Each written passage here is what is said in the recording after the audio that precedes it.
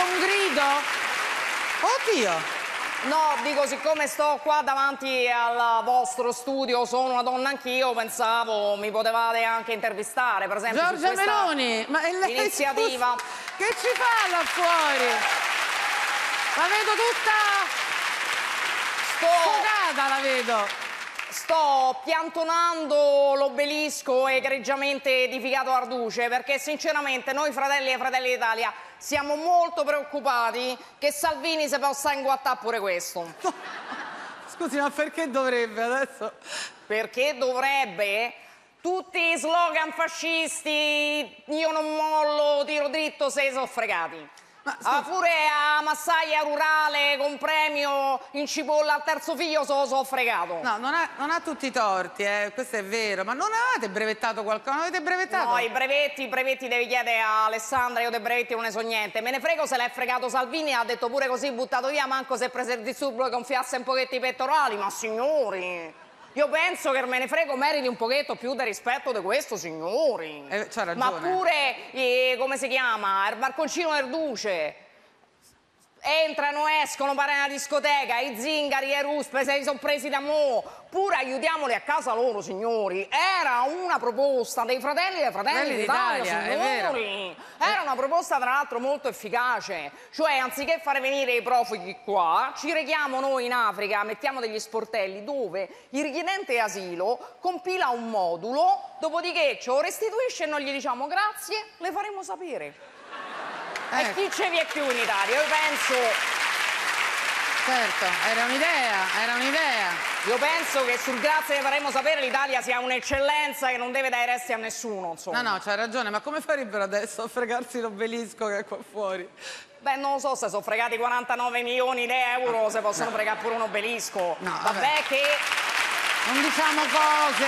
vabbè che No. questo obelisco è di un valore inestimabile. Ma qualcuno che te lo stima lo trovi se gli metti in mano 49 Vabbè. milioni di euro freschi Scusi, ma insomma lei mi fa capire che ha paura che quelli della Lega, eh, mi scusi il termine, siano diventati più fascisti di voi. No, il problema è che qua sono tutti fasci, quelli della Lega sono più fasci dell'altri e si rischia purtroppo di perdere il fascio italiano DOP, Prego. che come sappiamo è presente solo nei fratelli e fratelli d'Italia, signori, non possono fare i fascisti tutti. Il fascio italiano DOP, quello che ci invidiano in tutto il mondo, signori, quello che abbiamo esportato in tutto il mondo, io lo dico anche per gli altri schieramenti, pure la sinistra, ma ragione. se la sinistra se dovesse perdere pure l'antifascismo, ma una volta che si guardano in faccia e si dicono andiamosene a casa perché non abbiamo più niente da fare veramente, signori. Questo è vero, no, ma c'ha ragione, eh.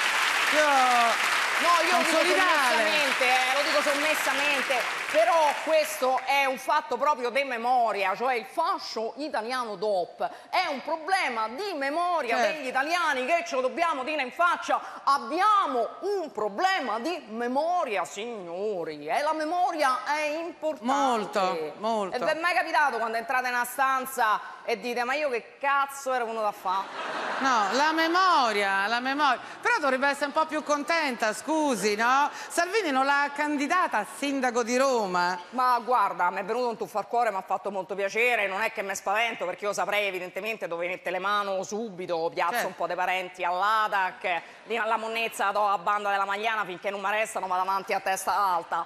Però il problema è... Qual è? Problema? Siamo sicuri, non sarà un gesto un po' forte dopo Alemanno, Marino, Araggi, arrivo io. Rischiamo che non rimane più niente da sfasciare, non parlo nel mio interesse naturalmente, certo. parlo nell'interesse delle generazioni future dei sindaci di Roma, signori, ragione. ma noi gli No, lasciamo c'ha proprio niente. C'è questo rischio. C'è questo rischio. Comunque, senta, ma, ma quanto devo rimanere lì sotto l'obelisco? La prego, un segretario del partito non, non Sto può stare lì. il A me mi dispiace vederla lì al freddo, dai.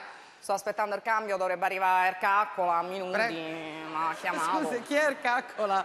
Se fa- Caccola è un fratello dei Fratelli d'Italia, evidentemente, che era l'unico disponibile a quest'ora purtroppo. E purtroppo, No. come forse vi immaginerete, noi non siamo moltissimi in Fratelli d'Italia. Siamo, Sì. voi sarete domandato, ma come mai quando intervistano a Fratelli d'Italia in televisione c'è sta sempre soltanto Giorgia Meloni, voi sarete domandato, ma dove stanno starti ora fratelli che- e Fratelli d'Italia? Voi sarete Ora che domandato. ci penso, me lo domando. E, Eh, chi sono gli altri?